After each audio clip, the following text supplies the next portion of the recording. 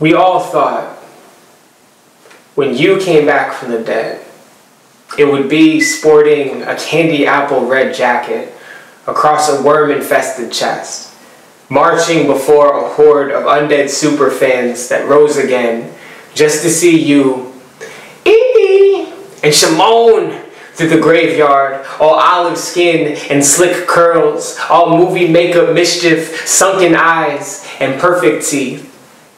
Hungry for whatever it is black zombie pop stars hunger for in the afterlife. Maybe atonement. Like Billie Jean's baby, the one you ran from so fast the sidewalk glowed behind you. Maybe peace like the man in the mirror, who always seemed to moonwalk to and away from you at the same time with each pendulum swing of the plastic surgeon's scalpel, maybe you'd come back. Just because you wanted to thrill the world one last time with a dance move you learned from the earth, another number one hit pulled from the clouds, you were always a thriller. Bad, off the wall, but even smooth criminals can only lean so far before gravity lays them down flat. Who doesn't remember where they were the day Michael Jackson died? Now, five years later, he walks again.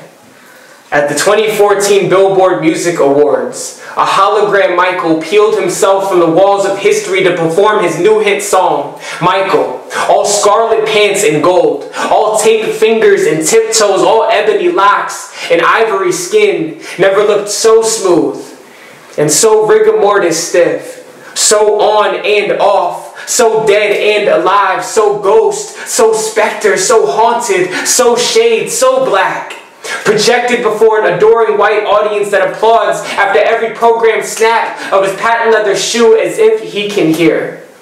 This is the latest in a long tradition of black bodies put on display.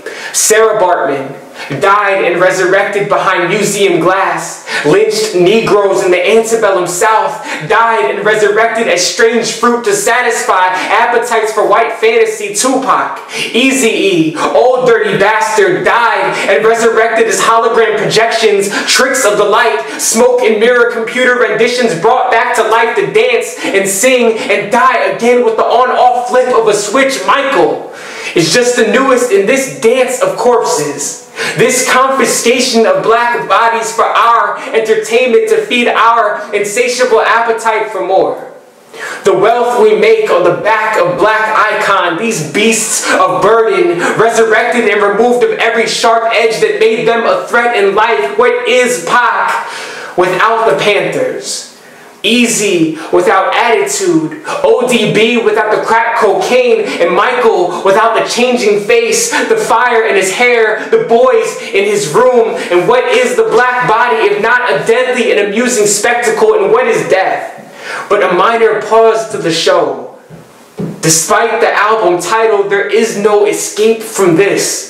This race music, this black skin, this no matter how successful you become, this no matter how thoroughly you bleach, this no matter how far you seem to cross over, we will always pull you back even from the dead. Michael, it has been five years since we have seen you, and we have grown so hungry. We will eat till there is nothing left of you but the diamond dust of your shadow, the light we clap for in the dark, till there is nothing left for us to come back for, till our zombie bellies swell, till there is nothing left to consume.